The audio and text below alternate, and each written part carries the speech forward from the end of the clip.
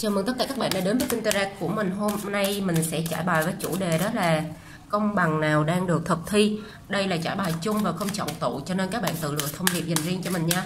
Mong các bạn đón nhận thông điệp một cách cởi mở. Cảm ơn các bạn rất là nhiều.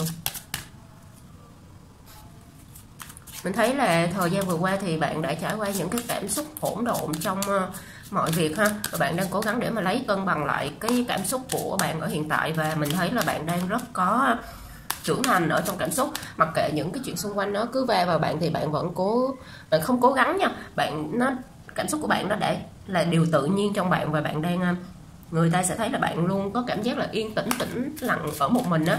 Ở ngoài sâu bồ như thế nào thì trong à, cái bề ngoài của bạn với lại trong nội tâm của bạn nó vẫn à, cứ bình lặng mà làm cho người khác muốn tới gần để lấy cái sự linh khí đó trong người của bạn á kiểu như muốn gần bạn và bạn đang ờ, có một sự cân bằng tốt trong cuộc sống thì bạn biết cho đi và nhận lại vừa đủ chứ không phải là làm cho bạn thiệt thòi hoặc là kiệt sức như là ở trước đây là cho quá nhiều mà nhận lại thì không có bao nhiêu ha. Dự án mà bạn đang theo đuổi á, nó sẽ có một bước tiến mới là bạn sẽ uh, không có suy nghĩ đắn đo quá lâu như là cái thời gian trước nữa mà bạn sẽ nghĩ là làm liền luôn. Uh, chứ không có cần phải hỏi ý kiến ai vì là bạn đã hỏi rất là lâu trước đó rồi và bạn cũng đã uh, muốn hành động nhưng mà không hành động không có chừng chừ gì nữa nữa. Ở hiện tại thì bạn đang rất là nhanh trong cái việc đưa ra quyết định và làm nhanh luôn á. Mình thấy là những điều bạn làm nó sẽ trổ quả và hiện tại thì bạn sẽ đang uh, lãnh những cái quả ngọt ở hiện tại ha. Và bạn đang trên hành trình nghỉ ngơi.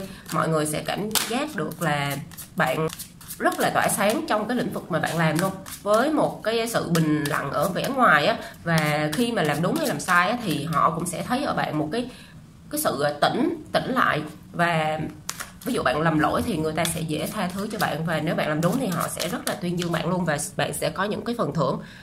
Bạn đang trong quá trình mà chuyển đổi, chuyển giao cái tâm thức của mình lên một cái vận trình mới, lớn lao hơn là những cái thời gian đã qua, thì bạn đã trải qua những cái thương đau cũng như là những cái cơ cực cực khổ trong cái khoảng thời gian trước đây về tiền bạc tình yêu hay sự nghiệp á, thì giờ đây bạn sẽ muốn chững lại để xem một cái đoạn đường cái hành trình bạn đã đi như thế nào và tập chấp nhận cũng như là buông bỏ uh, đưa mọi thứ về thế cân bằng.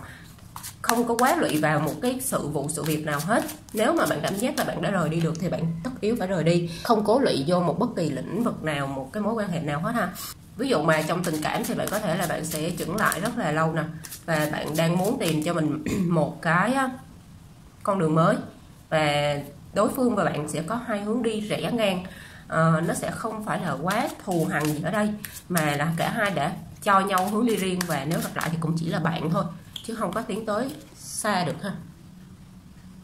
Có thể chuyển đổi được cái tâm thức của mình lên một tầng cao rất là mới. Bạn tự chữa lành được chính bạn luôn nè.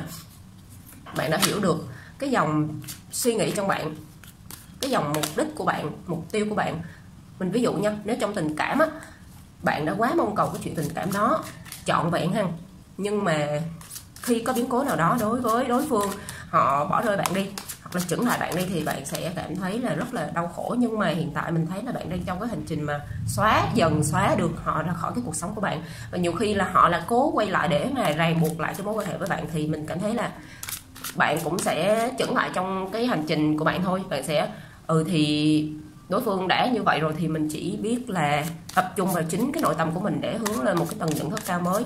Và cái giai đoạn mà công bằng công lý thực thi chuẩn bị thực thi này thì mình sẽ cảm thấy là bạn á sẽ làm cho mọi người cảm thấy là bạn uh, sống rất là tốt đẹp thiện lành. Và cái nguồn đó nó tỏa ra khi mà bạn muốn ra đi ha. Một công việc hay là sức khỏe bạn có vấn đề bạn buông xuôi luôn á bạn trôi theo dòng á. Rồi cái tình cảm của bạn nó chật vật rồi bạn muốn từ bỏ cái mối quan hệ đó. Thì tự nhiên mọi thứ nó lại cứ rốt ráo cứ rạo rực muốn quay trở về bạn á. Nhưng mà biết sao giờ thì bạn cũng đã trưởng thành rất là nhiều trong cái mặt tư duy về nội tâm rồi thì bạn chỉ muốn ở trong cái cái cái cái chính cái cái căn nhà của bạn thôi cái um, khăn tràn của bạn rồi và đừng có ai đụng tới bạn. Bạn đang có một sự an toàn được bảo hộ rất là vững luôn. Vì chính cái sự an toàn đó thì bạn sẽ khó mà đi tới uh, những cái nơi mà hiểm nguy hiểm trở và có nhiều nỗi sợ trong đây nè thì bạn đâu có đi đâu. Cảm xúc của bạn rất là ổn nha mình cảm thấy là bạn sẽ điều chỉnh được cái nguồn cảm xúc và nội tâm của mình rất là tốt. Khi mà bạn tỏa sáng khi bạn chữa lành khi mà bạn ngời ngời á, trong cái tư duy trong tâm hồn của bạn thì đột nhiên có nhiều người họ sẽ đến với bạn nè. Họ rình rập bạn để mà vồ vô cái cuộc sống an toàn của bạn nè. Rồi mà bạn thì rất không muốn vô cái này. Muốn đó nhưng mà thôi tôi đã có một cái thời gian chữa lành rồi thì tôi không cần ai mà vô cái cuộc sống của tôi nữa. Thì những cái người này họ thấy cái năng lượng của bạn ok quá họ tốt quá thì họ mới mới rình rập rồi mới dèm pha rồi muốn quay trở lại. Ví dụ vậy á. Ace of Cups trong giai đoạn mà chữa lành thành công rồi của bạn á, thì uh, mọi người tự dưng cứ xô bồ vào bạn thôi. Vì bạn rất là tỏa sáng mà đó. Người cũ sẽ tìm về ha. Và người này họ sẽ cứ đeo đeo theo bạn thôi. Với ờ, một ngọn lửa rất là rất là mãnh liệt á. Đồng thời là công việc của bạn nó sẽ hơi bị ờ, bận rộn trong thời gian này và bạn sẽ khó mà có thể mà chuyên tâm vô cái uh, chuyện tình cảm nè. Lo làm quá mà. Đời style là ví dụ bạn mình có thể bạn với họ có thể là cả hai thì đang bận rộn vô cái kế hoạch cá nhân riêng. Thì cũng có thể là còn tình cảm đó nhưng mà phải đợi vài tháng nữa đi. Coi như thế nào chứ? Hiện tại thì đang bận rộn quá thì đâu có ai ai cũng lo cho cuộc sống của mỗi người thì đâu có ai lo được cho ai. Sức khỏe của bạn đang thời kỳ chuyển giao tốt nha. Nhưng mà hạn chế, đừng có va vô những cái ờ, đồ ăn, đồ uống không làm kích thích. Nó sẽ hại cho bao tử của bạn và làm cho bạn ờ, mệt đó. Đừng có suy nghĩ quá nhiều tự mình ờ, bế tắc trong cái suy nghĩ của mình nha bạn. Bạn đang đi vào trong cái sự chữa lành của trái tim của mình rất là nhiều nè. Kiểu như vết thương nào rồi cũng sẽ lành rồi à, thì à, nếu mà bạn cứ chấp nhận thừa nhận cái vết thương đó, rồi cứ cúi đầu mà khóc đi, rồi mình cứ ngẩng đầu mà đi thôi, không có gì hết. Một quá trình trong cuộc sống mà, có vui có buồn, có hạnh phúc thì cũng phải có đau khổ.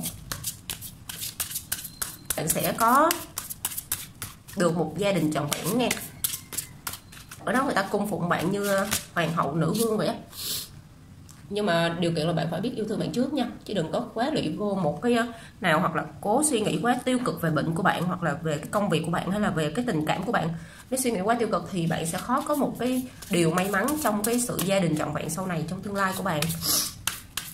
Cân bằng rất là tốt trong cái ờ, việc cân đo đong đếm về tài chính của bạn nè thì bạn cũng sẽ có và nhiều người sẽ mang đồ ăn thức uống đến cho bạn. Kiểu như người ta quý bạn á năng lượng của bạn rất là tỏa sáng mà. Thì à, nhiều cơ hội nhiều à, sự lựa chọn đem tới thì buộc bạn sẽ uh, suy nghĩ. Rồi bạn sẽ đi nghĩ coi là cái mục tiêu đó nó có ổn cho bạn lúc này không? Nó ổn thì bạn sẽ rời đi. Hoặc là bạn sẽ quay lại với người cũ ví dụ vậy á. Hai lá heritage hiện tại là mình cảm thấy nha. Hai lá heritage ở đây. Đây lá này cũng là heritage này đó, là bạn sẽ được mọi người rất là chú ý tới bạn luôn. Vì hiện tại là bạn đang tập trung vào chính bản thân bạn, thì khi tập trung vào chính bản thân bạn thì bạn đã tốt lên rồi. Thì tự nhiên cái nguồn năng lượng sáng nó sẽ về bạn mọi thứ. Sách độc cấp là hai rated mình sẽ độc cấp nữa là cảm thấy là bạn luôn là ôm cái quá khứ của mình á và nghĩ về cái thời mà bạn vui vẻ với gia đình hoặc với ờ, đối phương. Nhưng mà đó cũng chỉ là quá khứ thôi nếu và bạn cảm giác là ngủ trên quá khứ á, thì cũng tốt. Nhưng mà nếu mà ngủ quá lâu á thì bạn sẽ chợt nhận ra rằng á là điều đó không tốt vì bạn còn những cái người tốt ở, ở xung quanh bạn ở hiện tại. Chứ mắc gì mà cứ phải vươn vào cái quá khứ mà tốt đẹp rồi hiện tại thì nếu đau buồn á mà vươn vô cái quá khứ tốt đẹp với cái người cũ đó. Nhưng hiện tại người cũ đó nó đâu có làm, nó đâu có thương yêu bạn nữa đâu. Đâu có tốt với bạn nữa đâu mà bạn cứ vương vấn cái ờ, quá khứ đẹp đó làm cái gì. Cho nên là cái hai, cái lá hai đó là đang hướng bạn về nội tâm của chính bạn, vào cái tâm trí của chính bạn, vào cái sự đổi mới. Cái đồ quơ lên là để bạn đổi mới và bạn bạn cắt đi cái nguồn tình cảm đó ha. Đó.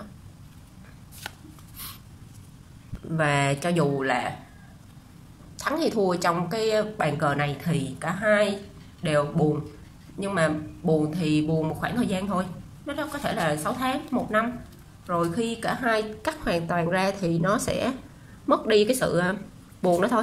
Khi nào cũng vậy hết. Thời gian nó sẽ làm mờ đi mọi thứ, kể cả niềm vui và nỗi buồn. Nó sẽ không vui hoài mà nó cũng không sẽ buồn hoài cho bạn đâu ha.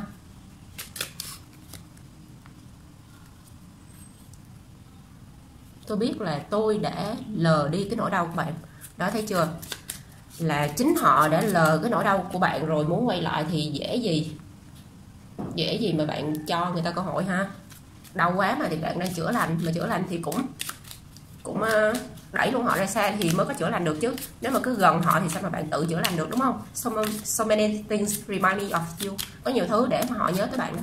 Đã thấy chưa? Công bằng công lý đang được thực thi là bạn đã tốt với người ta rồi. Bây giờ người ta đối xử với bạn như vậy thì bạn cố rồi đi thì họ lại quay lại á. Thì quyết định tới hay không tới thì của bạn thôi. À, dựa trên cái sự đau khổ trước đó ha. Thì bạn cứ cân đo đong đếm đi. The time and just wasn't right for us khoảng thời gian này thì cứ chữa lành trước đi không có đúng cái thời điểm để cả hai quay lại đâu. À, và thời gian này á là nên ăn uống ngủ nghỉ hợp lý nè tự thương mình trước khi người ta thương mình nè. À, về cái công việc á thì cứ dựa theo thiên thời địa lợi nhân hòa thì bạn mới có cái sự rời đi cho công việc nha. Chứ đừng có mà xem nó an toàn á xem nó an toàn hay không thì bạn hãy rời đi. Nếu mà rời đi mà trọng cái sự không an toàn á thì à, nó sẽ là hệ, hệ lụy về sau á nha. Mệt lắm đó.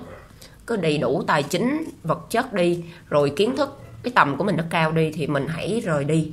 Mình chứ mình thấy là có cái ờ, đang an toàn nè. Mà rời đi mà nếu bạn không có chuẩn bị kỹ á, thì nó mệt cho bạn thôi.